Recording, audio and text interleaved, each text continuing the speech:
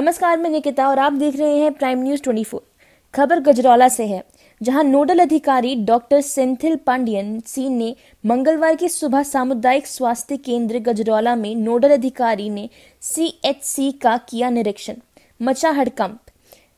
Nodal अधिकारी doctor Senthil Pandian सी ने मंगलवार की सुबह सामुदायिक स्वास्थ्य केंद्र का अचानक पहुँच निरीक्षण किया। हालाँकि अस्पताल में सभी व्यवस्थाएँ पहले से ही दुरुस्त कर ली गई थी। नोडल अधिकारी के आते ही अस्पताल के स्टाफ में हड़कंप मच गया। निरीक्षण में कोई खामी नहीं मिली। नोएडा अधिकारी ने सीएचसी की स्वच्छता और व्यवस्था देख कहा कि गजरौला सीएचसी उत्तर प्रदेश की नंबर वन है। चिकित्सा अधिकारी योगेंद्र सिंह काफ़ी सराहना करते नज़र आए, जिससे जिला चिकित्सा अधिकारी भी काफ़ी खुश नज़र आए।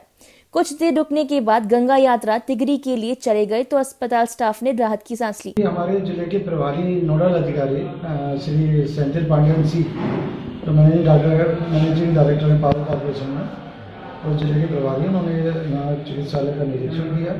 उन्होंने बाहर की साफ़ सफ़ाई से लेकर ओपीडी इमरजेंसी और वार्ड और स्टोर का गहनता से निरीक्षण किया।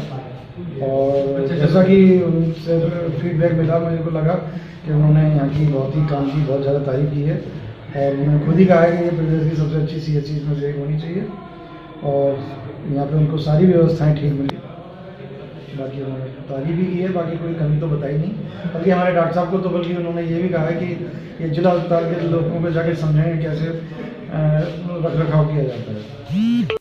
प्राइम न्यूज़ 24 के लिए प्रदीप कुमार की रिपोर्ट।